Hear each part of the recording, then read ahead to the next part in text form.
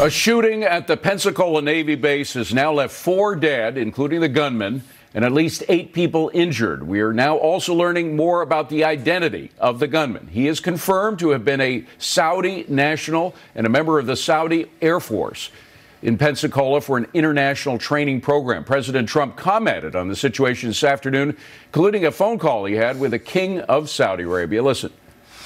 The king said that the Saudi people are greatly angered by the barbaric actions of the shooter, and that this person in no way, shape, or form represents the feelings of the Saudi people who love the American people so much.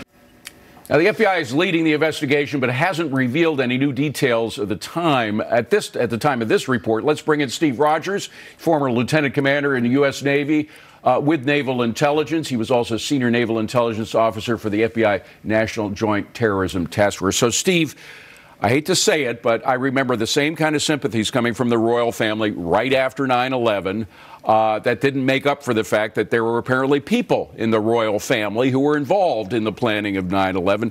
Uh, should isn't it time to sort of change our whole policy, the way we deal with Saudi nationals, particularly those who go to our navy and, and other military bases? Well, we first have to find out the motive.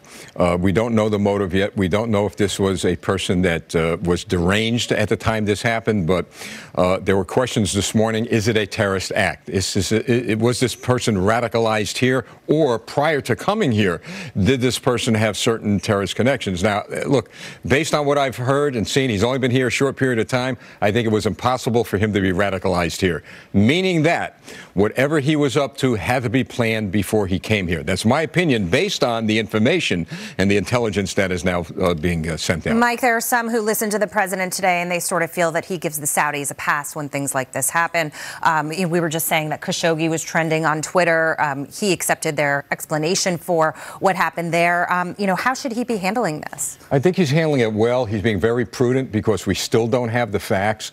I know a lot of people are quite upset because they heard Saudi Arabia. We know the 9/11 hijackers, so Saudi Arabia, but we have to be. The president has to be very careful, and he's acting appropriately at this time because he does not have all the intelligence and information that would lead him to take another course. Uh, the vetting. Uh, the vetting has got to be strong on this. Does something like this that occurs change that playing field as far as how, how strongly we're going to vet going forward? Uh, a good point. I, when I was in the Navy, uh, the vetting was very stringent. Uh, top secret clearances uh, with regard to where you're stationed. I mean, these guys are pilots. They're, mm-hmm. they're, they're, dealing with something very critical to uh, their defense. So they have to, yes, they have to look at vetting. I can't begin to, to tell you what fell through the cracks here. I know it's very, very tough to vetting, but you're dealing with foreign nationals. Uh, you don't know if somebody decided to wave him by, if there's certain policies now in place to make sure these people pass, but that has to be looked at. Uh, uh, St- uh, Steve, Gary Smith here. Uh, I'm, you know, uh, following on to Gary Kay's question about the vetting. How many of these? So this was he was here on an international training exercise. How many of these go on throughout the year? And is it really possible? Um, at least for good relations, to vet all these foreigners that are coming over here for these training exercises? Well, I'm going to give you a real life example. When I was in the Air Force, before I was in the Navy, back in the 70s, I was stationed at Chanute Air Force Base, and we had Iranian pilots training there. And I remember uh-huh. asking someone, well, how do they do? And I was told, well, they all pass because if they don't pass, those who don't pass are going to pay a heavy price in Iran.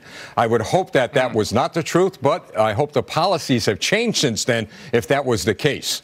I think David, before we came on, kind of hit, hit a tough note for all of us Saudi and Air Force. The idea, those two things together bring back the worst day in the history of our country. And when we hear that as a layman, not like you, what, what do you say to us so we don't get this, this vile feeling again?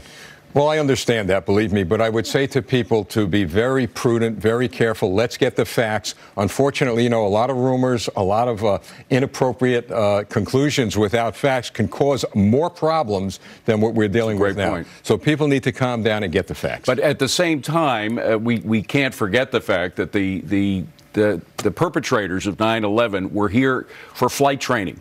And they used that flight training to command, command uh, planes into civilian buildings, which killed thousands of people. Imagine what this character could have done if he got a plane. And he was at an, yes. a naval a naval air base where he had access to planes. He was being trained to fly these planes. Um, it probably would have been limited to a certain area, but he could have still killed hundreds of people, not just three or yes, four. Yes, he could have. And if in fact it comes out that there's a terrorist nexus uh, connected to this individual, We've got a lot of soul searching to do and a lot of work to do regarding vetting individuals who come here for military. And how do we find that out? Well, the FBI is great. They do a great job. I'm sure the CIA and other international law enforcement agencies, as well as the Saudis, are involved. We're going to find out. We, just, the FBI does a good job. We're going to find out. What do you think the officers at the base are saying to the, the soldiers surrounding? Well, um, I'm sure they're telling them, you know, if you see something or hear something, say something. I've got to tell you what my reaction is, and it's been this way in law enforcement and involving all these incidents. Did somebody else know that something was going on? How does a guy have a weapon on a base? What about his colleagues? What about where he was staying? I believe somebody else knew something about this individual. He wasn't the only one who knew he had a gun. Steve Rogers, we thank you very much. Thank you for your service as well to thank our you. country. Appreciate it. Thank you. Well, the White House host